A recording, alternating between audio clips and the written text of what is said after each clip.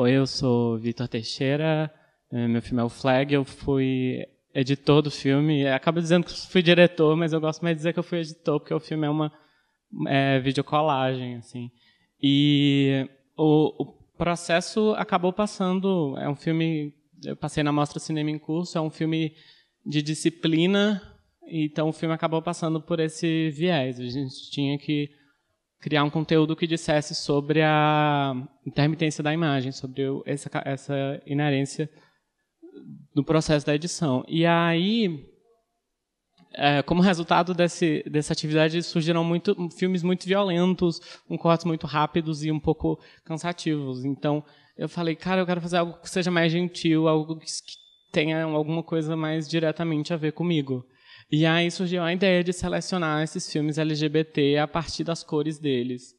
Cara, é uma coisa que tem melhorado muito, né? Porque o filme eu, eu realizei ele o ano passado e eu já sinto que. Esse ano eu já sinto que tá faltando coisa.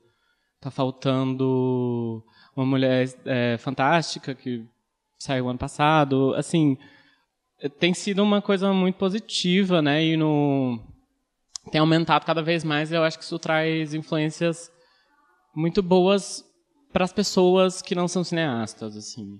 No final do filme eu dedico ele a todos os cineastas que que fizeram possíveis a vida de completos desconhecidos, porque é isso, sabe? Eu sou no interior da Bahia, de uma cidadezinha super pequena, então o único jeito que eu tinha de viver uma vida que era muito longe de mim era através da projeção.